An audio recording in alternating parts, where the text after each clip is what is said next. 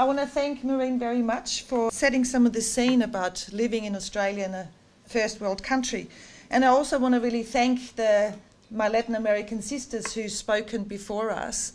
I was especially heartened also by Elizabeth's Mayan wisdom about talking about Baktum. Is it Baktum? The, the year of kind of wisdom, but also consciousness. Because what she's saying is we are sort of in a, in a period of consciousness and consciousness raising. So she's basically saying it's now, so the time is now to keep fighting on. And that reminds me also of a particular study that was conducted, and the results were released only a couple of years ago. And it was a study that was conducted in 70 countries over 40 years by Harvard University.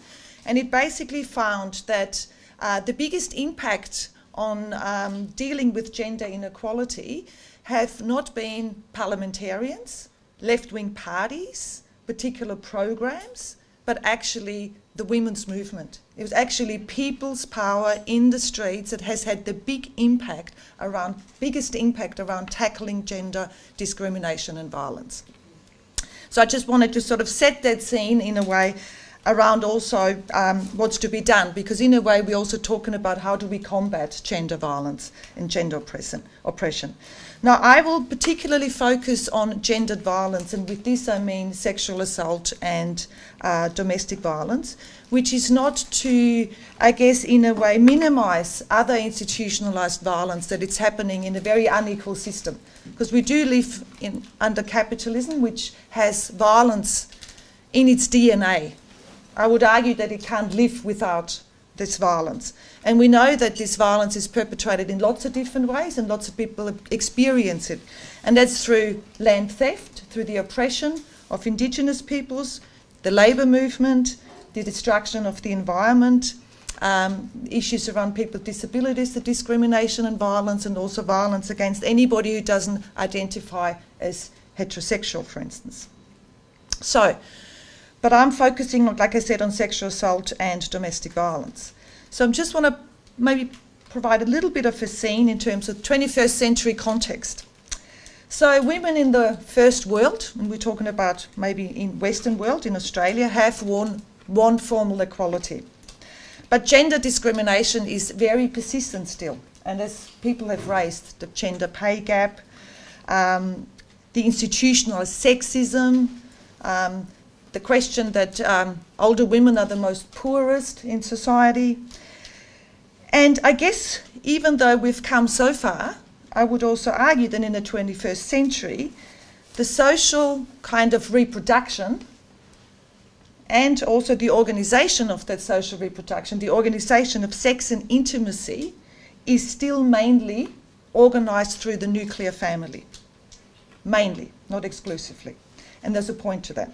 And I reckon if it's not a particular nuclear family where there's a husband or a male partner at the helm of it, but if maybe it's the state because you're dependent on welfare, like a single parent and mainly single mothers, you might as well be being married to a man because it will be the state that will decide in one way or another how you can live your life, life how your sexuality can be expressed, how your reproductive capacity will be constrained or not constrained. Now, we also live in a world of globalized neoliberalism where we really can say that market relations are just about penetrating all aspects of our daily lives, which has really resulted in the commodification of social relations. And I would argue too that's very deeply affected the, the, the human development. It's more and more gendered, so to speak. And um, Cordelia Fines has written a very good book which is called The Delusions of Gender, where she actually talks about conservative neuropsychology that talks very much about this male female being hardwired, the brains being hardwired already in the womb. So, what we see, I would argue, in the 21st century is more and more this, this, this early straitjacketing of boys and girls into particular gender stereotypes the sexualization of girls is very early on, I would argue much earlier than for boys. And the commodification of the human body, and especially the female body, is just intense. And also at the same time, with this commodification of all aspects of our lives, including our bodies, we also have a very concerted effort of states and governments to use the repressive arm of the state in a much more conscious way. But we also at the same time living in a time where sexual assault and domestic violence, I would argue in my whole lifetime, which is 49 years, has never been as open and as much in the public arena. And of this, I've lived 28 years in Australia. I can never imagine where there's been so much talk in public that sexual assault and domestic violence is wrong and unacceptable. And this public discussion has definitely been, like I say, can be linked to the immense work done by the women's movement, but also by the left and human rights movements. It actually have brought to the fore the whole question of sexual assault and domestic violence. Now, we also know now across the board that sexual assault and domestic violence, well, especially sexual assault, that the victims, but also domestic violence, are cross class. You can be a poor working class woman, or you can be famous like um, Reeva Steenkamp, who was murdered by her famous partner. You can be Oprah Winfrey and still get raped or experience domestic violence. We also know that not just the victims can be from across class lines, but also the perpetrators of violence. They can be rich or they can be poor. I would like to just briefly give a couple of quotes by one of my heroines, Judith Herman. Judith Herman has written a book that's called Trauma and Recovery, and she wrote that book in the early 80s. And what she did was quite extraordinary. She did this incredible study and where she really looked at the question the impact of trauma of people who experienced wars, were soldier in wars, especially Vietnam War veterans, and their experience of post traumatic stress syndrome. And she actually compared that with victims of domestic violence and sexual assault. And she came to the same conclusions that the impact was equally as bad. So she has this to say about victims of trauma. The ordinary response to atrocities is to banish them from consciousness. Certain violations of the social compact are too terrible to utter aloud. This is the meaning of the word unspeakable. Atrocities, however, refuse to be buried. Equally as powerful as the desire to deny atrocities is the conviction that denial doesn't work. Folk wisdom is filled with ghosts who refuse to rest in their graves until the story is told. Murder will out. Remembering and telling the truth about terrible events are prerequisites both for the restoration of social order and for the healing of the individual victim. Now, if just Susan and I were talking this morning. There was just a report was released of a, of a, of a, of a very new study that actually highlights the incredible high amount of mental illness among children. And maybe people are going, wow, like you know, uh, anxiety disorders, depression, is something between 16%, 14% of, you know, like 11 to 14 year olds. That's very, very high. And Casa House, or Casa, one of the sexual, sexual assault centres, put something on social media and basically said, well, maybe that might even, that figure might even be a little bit conservative, that rate of mental illness in children. If we look at the fact that one in three girls by the age of 15 and one in six boys that we know would have been sexually assaulted by then. So maybe these figures are even conservative. So what that leads me to is the fact that sexual assault for a lot of people starts very early, one in three and one in six. And that can often lead to some trauma. And this is what Judith Herman has to say about childhood trauma. Many abused children cling to the hope that growing up will bring escape and freedom. But the personality formed in the environment of coercive control is not well adapted to adult life. The survivor is left with fundamental problems in basic trust, autonomy, and initiative. She approaches the task of early adulthood, especially establishing independence and intimacy, burdened by a major impairment in self care, in cognition and in memory, in identity, and in the capacity to form stable relationships. She's still a prisoner of childhood. Attempting to create a new life, she recounters the, dra- the trauma. So, what Herman is really telling us or dramatizes is that the reality that experiencing horrible events can leave very deep psychological scars and it can do a lot of harm uh, and it can harm a human's capacity to live fundamental, fulfilling lives. She's not saying that you never be able to, but it has a big impact. And what we are saying too, with regards to her first quote, is the importance of actually being able to to get justice and talk about the truth and breaking that silence around the, the, the, the unspeakable that's happened. All humans have a genetic blueprint, but we also have lived experiences that shape our actions. Human beings are not meant to experience abuse and torture. It really has a massive impact on us and it has a massive impact in how we live our lives. And I would, and I guess what I want to, what I guess want to draw out here is that it can have an impact on parenting. People have experienced trauma in childhood or later on to domestic violence. It can impact on your ability to protect children. Having experienced trauma like Indigenous people have across the world, around dispossession, ongoing genocide, the racism, can have an impact on their relationships and how they live. Intergenerational trauma, stolen generation, has a massive impact in how we manage our daily relationships. Some victims become perpetrators of violence, some victims internalize their violence, and some people who have never been victims become perpetrators. And we're going to look a little bit more at that. As we speak, harrowing accounts at the Royal Commission into, into institutionalised responses to child abuse, but also in the Victorian Royal Commission into family violence are coming out. What these harrowing testimonies bring to the fore is not just the suffering and the impact of individual victims, but also it shines a very strong light at the institution, at the institutional responses, where institutions were perpetrators themselves, they were deniers of abuse or they colluded with perpetrators.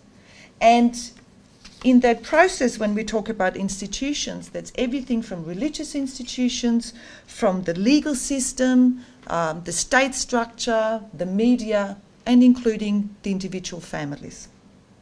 And this suffering or this storytelling is replicated across the world the suffering, but also the search for justice and to break that silence. It's the terror in the home, the terror in the, in, in, in, in the country um, that people are trying to come to terms with.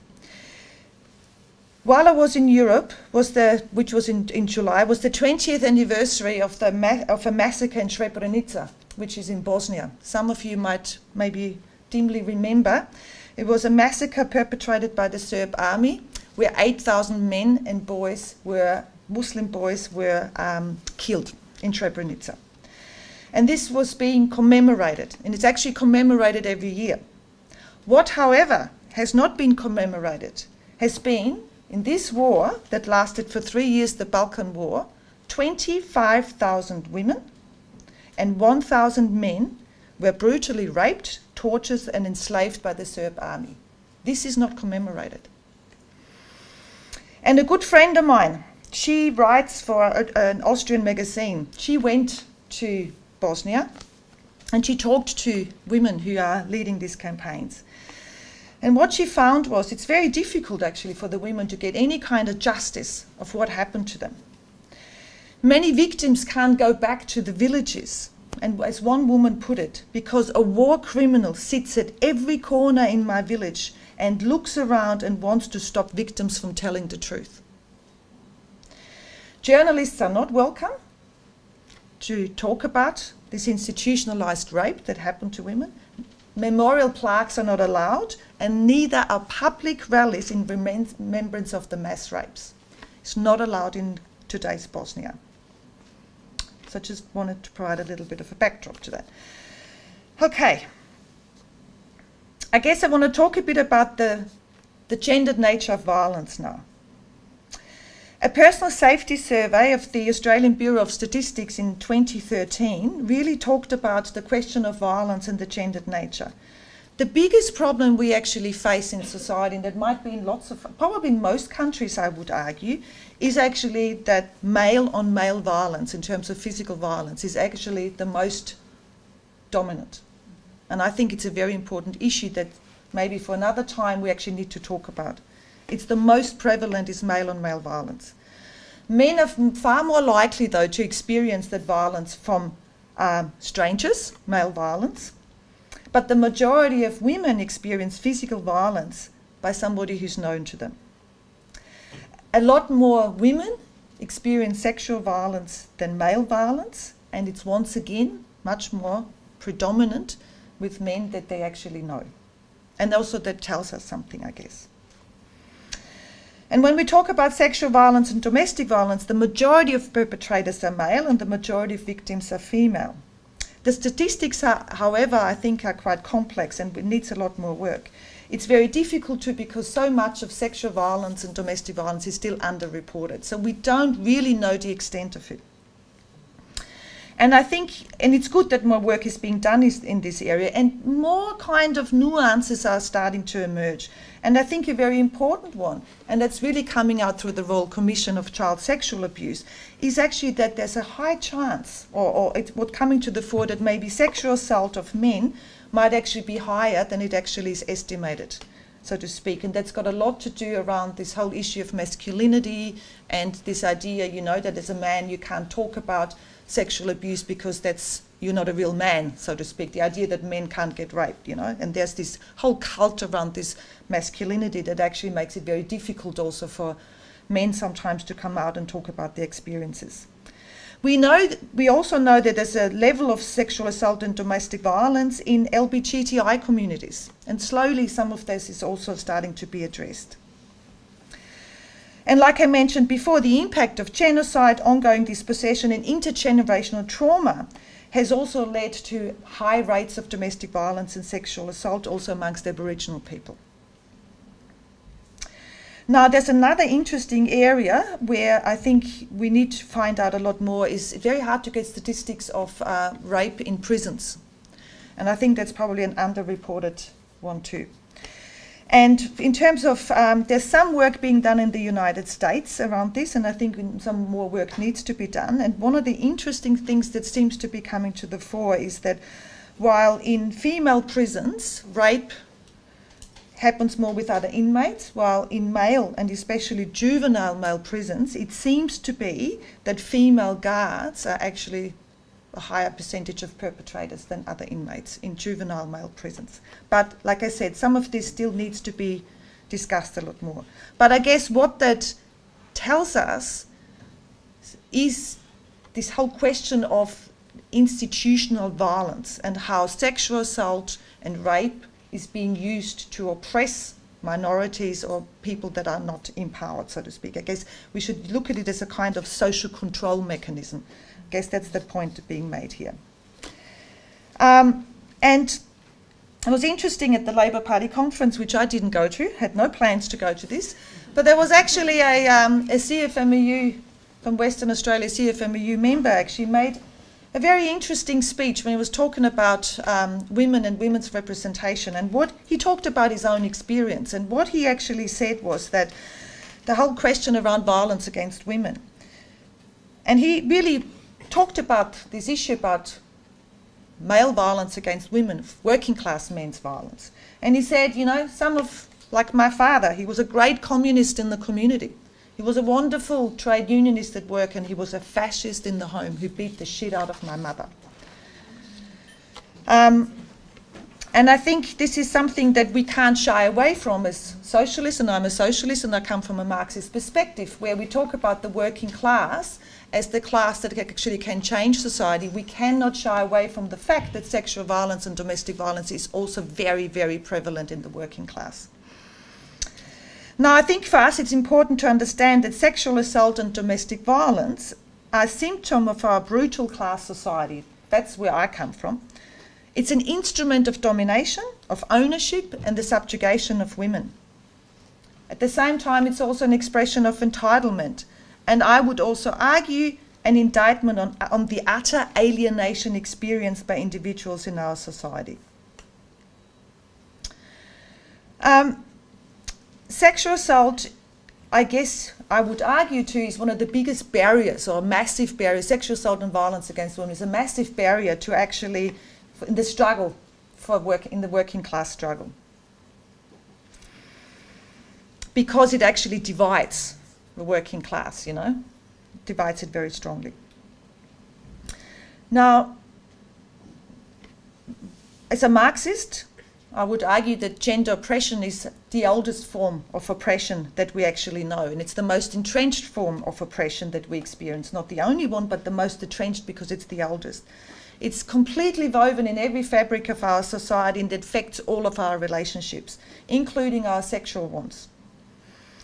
It is reproduced on a daily basis through our social relations of production and reproduction, childbearing, producing, in private and in public sphere, on a practical level, but very importantly on a deep ideological level. As a Marxist, we root women's oppression not in the social conditions, so to speak. Uh, in, we root them in the social conditions of our lives and not in biology. Because that's a very different way of looking at women's oppression. I mean, why are women oppressed? Is it because men and women are inherently different? And that's why are women oppressed? Well, as Marxists, we would not agree with that. We would say it's the social conditions of our daily experience that has given rise to the oppression of women and not our biological differences that exist in humans and that this, this oppression of women arose with the emergence of class society around 6,000 years ago. It's a long time we've been copping this shit. um, and as part of that, with the, with the sort of rise of the family as we know it today, and I'm being very specific, you know, with the, with the kind of nuclear family as we know it today. And Marx and Engels, they were pretty advanced for their time, you have to say. They actually sort of locate the, the, the, the, the rise of the nuclear family with a change in the economic situation of, of humans.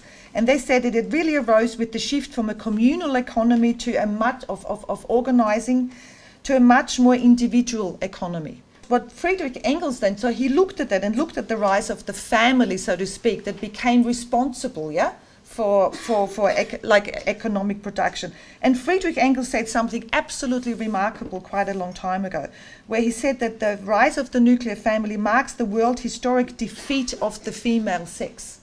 I mean, that is incredibly advanced. But why was he saying that? I mean, where was his evidence? Um, he argued that the modern individual family is founded on the open or concealed domestic slavery of the wife and modern society is a mass composed of these individual families as its molecules.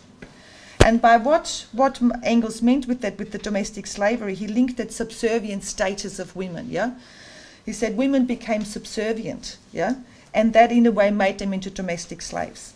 So under capitalist society, the family is a basic unit, economic unit in class society that basically organizes just about everything around the next, the production of the next lot or individuals. And it's responsible for the reproduction of labor and the caring for young and elderly. Now, every society had to organize their labor for the next generation. Every society has done that. You mean, it's human survival, you know, you've got to give birth, you've got to feed, you've got to look after. The difference is what Engels and Marx, I think, very brought to the fore is that it's actually class society where this labour suddenly took on a lesser value. Yeah? And this labour is relegated to women and takes on a much lesser value. Um, and another interesting thing that Engels sort of in a way looked at when he talked about this, the, the rise of the nuclear family with class society, he raised two points. And one of them said, Isn't it interesting that there's a double standard, a sexual double standard. One of them meant requiring monogamy for women only and not for the men. The men could have as many sexual relationships as possible, but it was important for the women to be monogamous. Because if the family also meant that's how you can inherit your wealth or pass on what you have worked for, you've got to know who the mum is. Yeah? like the father could be anybody, yeah? But if you know you, the, the, the, woman is here, she can't be touched by anybody, you know they're going to be your kids, yeah? But if the woman has lots of different partners, maybe then you don't know who the father was. So it's really about making sure that for a male, that his offspring is his in order to pass on his wealth. Um, I think that's, that, that's, that's, that's a very critical element for us. And I think what we can talk, what, I mean, and, and also the other thing was the tolerance of domestic violence. So 150 years ago, I mean, this was already discussed in Marxist circles or you know progressive circles that the the, the, the, the absolute like um, the tolerance of domestic violence against women. And I think just a couple of examples around the legal system. I mean, in Australia until the 1980s, sexual assault was seen as a property crime as a crime against property, property offence. So you, you know, offended against the property of a man by raping his wife. At the, and because women only existed as once they got married, they were kind of incorporated with the bloke. That was it. You didn't exist separately anymore. And that also meant there was marital rape impunity. Yeah? So it wasn't just that if some man raped a woman that he raped somebody or he, he offended against his property, but if a, husband raped his wife, well, he couldn't rape his wife actually.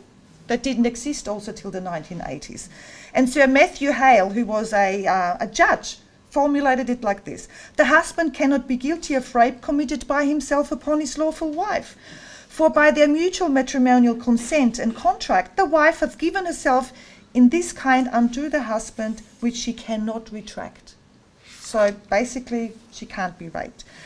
The, the complexity around this is that this kind of thinking still affects how people think about sexual assault today. So that's why uh, rape in marriage is still much harder to prosecute or is being taken seriously what I want to show is actually I want to pass this around for people, Australians' attitudes to violence against women. It gives you some idea why it's still so prevalent. And key couple of key things why domestic violence and sexual assault is still so prevalent. Uh, or key risk factors are the unequal distribution of power and resources between men and women, adherence to rigid defined gender roles and identities, what it means to be masculine and feminine, and also attitudes that condone violence against women. They are core risk factors. And if you look at this, you will see that there's a lot of work still to be done. Um, in order for the kind of work that needs to be done, and we can discuss more of this in, in I guess, in discussion, we, I would argue one of the key things is actually, um, I would argue, is actually supporting um, strategies that are preventive in nature in terms of violence and sexual assault, but that leads to system change at the same time. So it's critical to support reforms in law, all of that, very critical. Changing the attitudes in the community, with the police also, to provide a lot more services for, for women. But unless we tackle the economic, I guess, uh, root cause, it will be very difficult to make significant changes.